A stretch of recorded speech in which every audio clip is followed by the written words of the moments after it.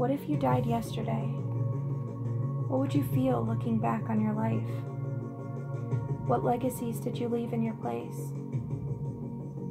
What dreams did you inspire? Whose life benefited from your existence? Did you fulfill your purpose? Did you reach self actualization? Did you use what you had from where you were every single day to make the world a better place? Did you suffer? Or did you end suffering? I invite you to ask yourself these questions and feel where any regret comes up in answering them. Think about all of the dreams that you held as a child that were never manifested. Think of all the time that you put in to making a dollar in front of precious life moments.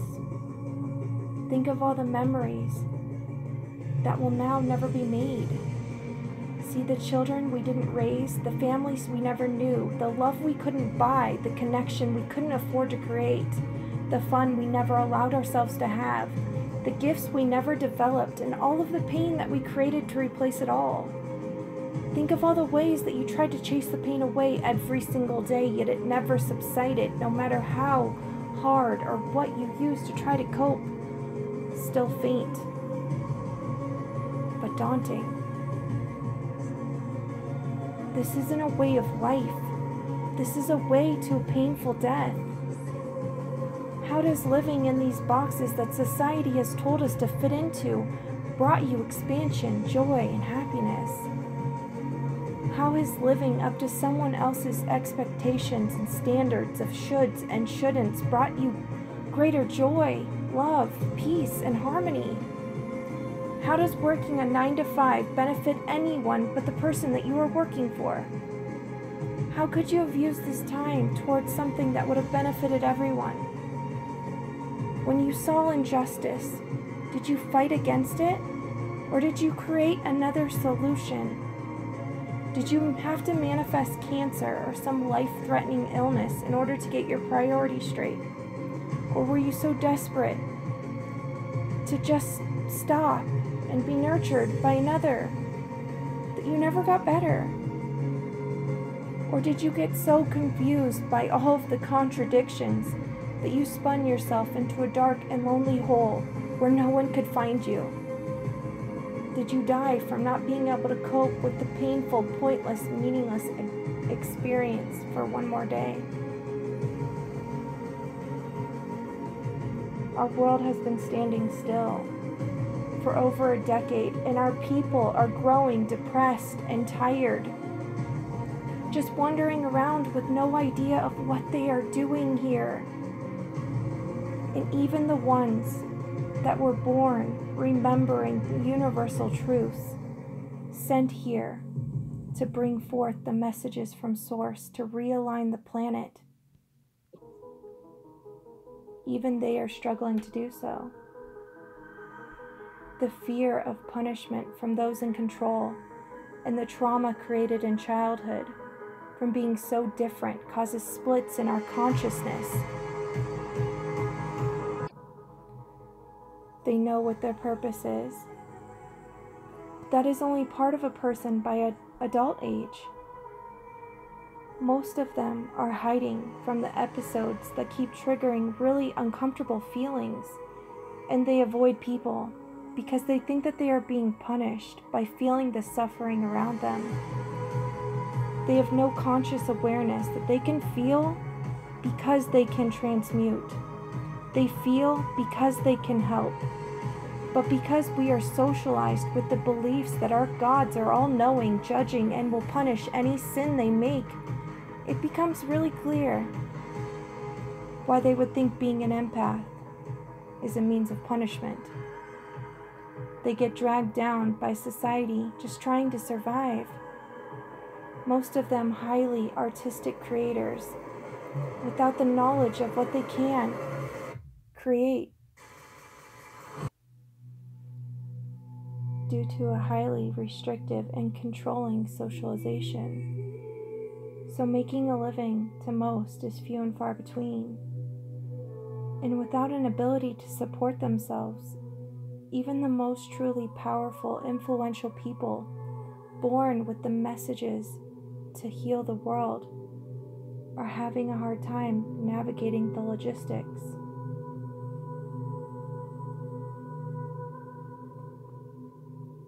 What made Abraham Lincoln, Oprah Winfrey, Helen Keller, Mark Twain, Walt Disney, Susan B. Anthony, Thomas Edison, Steve Jobs, Frederick Douglass, and Dr. Martin Luther King household names?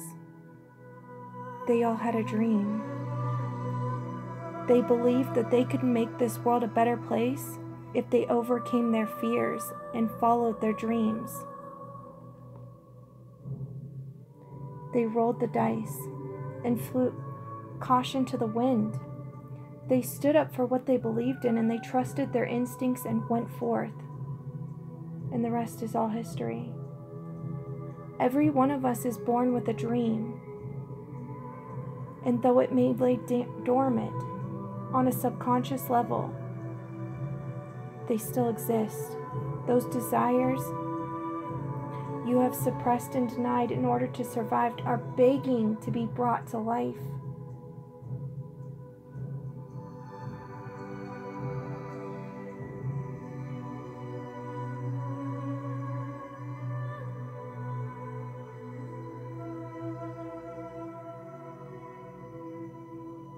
I can see and hear and feel the universal vibration of feeling lost, scared, and over it.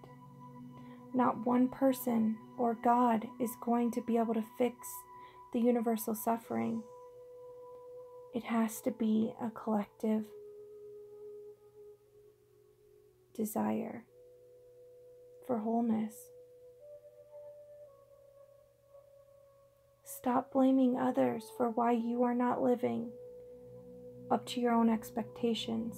If you are miserable, and you feel like it's because you are putting your life on hold for someone else's happiness, I'm going to ask you to stop it now because you are not benefiting anyone in the process. It's time to wake up and live for today, not 10 years from now when you can afford to be happy.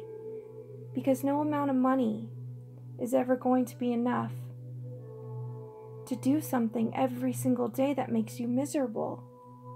It's our responsibility to stop adding to the universal suffering and follow our dreams today.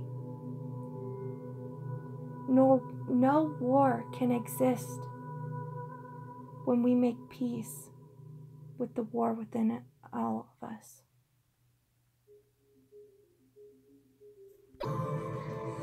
So, if you were given the chance to come back after dying,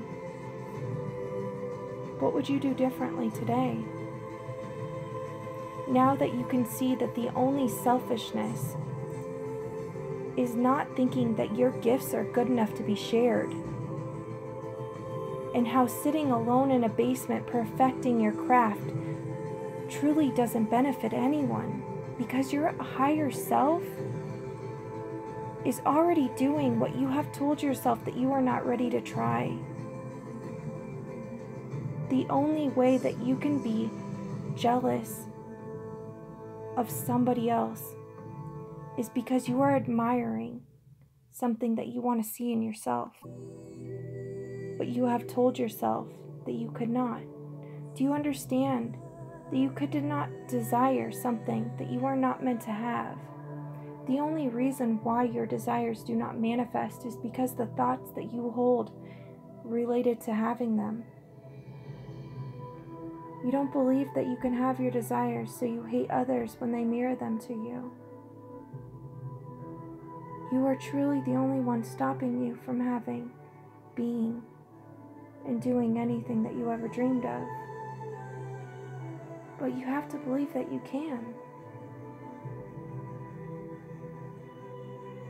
Might think that you are just one person and that you can't change the world. But let me tell you, if every single person in the world changed today, what they would regret not doing tomorrow, then the entire universe would shift in a blink of an eye. And then maybe, just maybe, you would realize how powerful you truly are. So change your mind and create what you desire.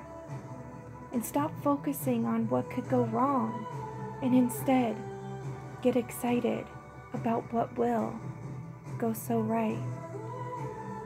Because together we rise, apart we fall. The time is now. I'm Kendra, the Divine Purpose Mentor. I hope you guys have an amazing holiday. I love you all.